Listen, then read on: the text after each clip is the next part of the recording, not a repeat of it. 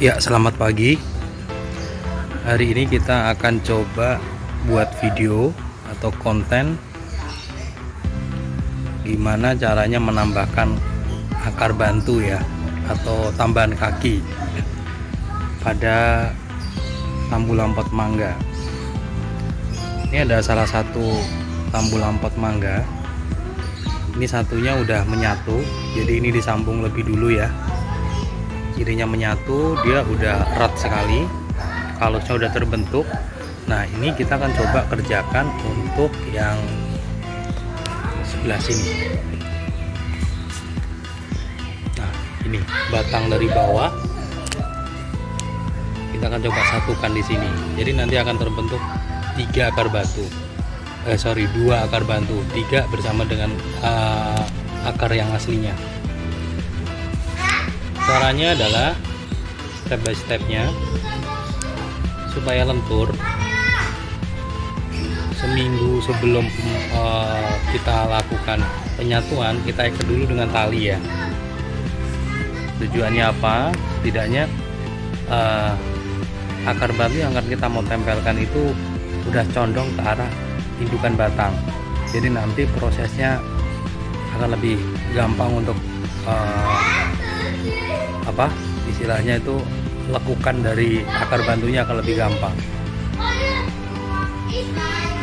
Oke ini udah udah satu minggu saya ke tali ya proses seperti apa? Yuk kita mulai. Ya ini batang yang akan kita satukan ya. Ini tokolan udah usia ya sekitar satu tahun lah ya. Waktu itu nggak sengaja buat buang biji mangga kemudian dia tumbuh. Nah emang tujuannya di sini untuk uh, nantinya akan disambungkan ke batang mangga utama di sini. Jadi nanti akan ada tiga akar bantu. Tujuannya apa? Yang pertama keunikan. Terus yang kedua ini menurut teori sih yang masih simpang siur karena akarnya banyak otomatis dia nyari makanannya juga akan semakin uh, yang nyari akan lebih banyak sehingga pertumbuhannya nanti akan lebih akan relatif lebih cepat. Tapi itu masih teori yang simpang siur ya. Ya tapi kalau untuk saya di sini uh, lebih ke arah keunikan saja.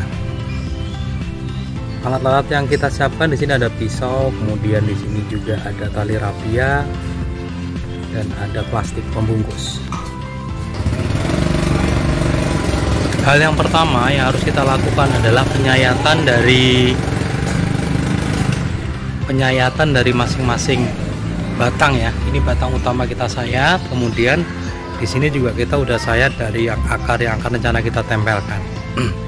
Sebelum disayat uh, diukur dulu ya. Jadi batang mana nanti yang akan nempel nah di situlah yang akan kita sayat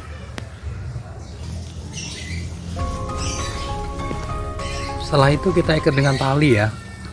Usahakan uh, sayatan tadi sayatan di batang utama dan calon akar bantunya harus uh, menempel secara sempurna ya.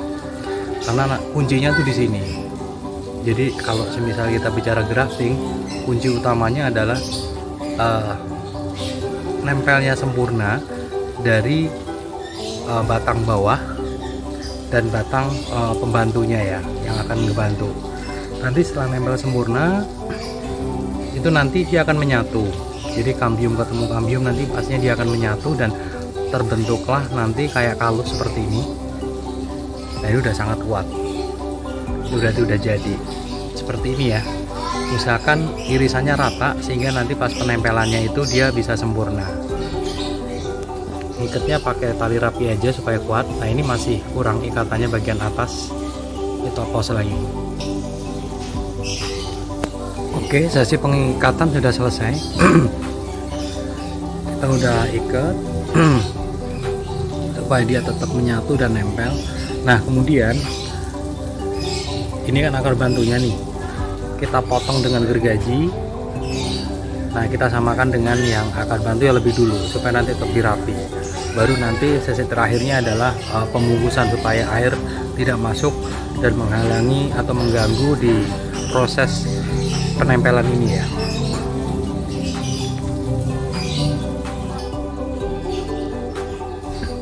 Ya proses sudah selesai. Jadi finishingnya seperti ini ya. Kita tutup dengan plastik. Tujuannya apa? Supaya air tidak masuk ke dalam eh, celah-celah uh, yang bakal buat nempel ya nah ini membutuhkan waktu relatif lebih lama karena di sini uh, batangnya batang besar. Cuman sebenarnya kan kita juga nggak buru-buru lepas juga nggak apa-apa. Tetap dia nantinya akan memberikan suplai makanan membantu di batang utama.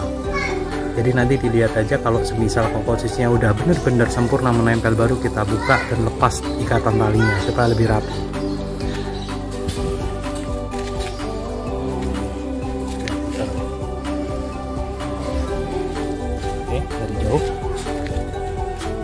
unik ya. Assalamualaikum warahmatullahi wabarakatuh. Selamat pagi. Ini update hasil dari penambahan akar. Kemarin melakukan uh, penempelan akar ini di bulan Februari ya. Sekarang bulan Agustus. Udah merekat banget. Dan bagian bawahnya juga kita bongkar uh, potnya. Karena udah akarnya udah tembus ini terlihat terlihat rame ya. Akarnya rame. Ini ada tiga akar ya. Dua akar bantu plus satu akar dari aslinya. Ini menurut kami ini versi kami ya. Ketika ditambahkan akar pertumbuhannya juga langsung cepet ya.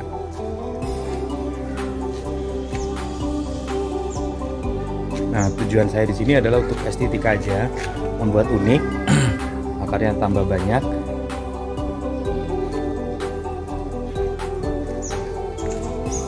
sangat merekat. Nah ini masih kita bambu. Nah bambu ini tujuannya supaya posisinya dia nggak eh, doyong ke jalan ya.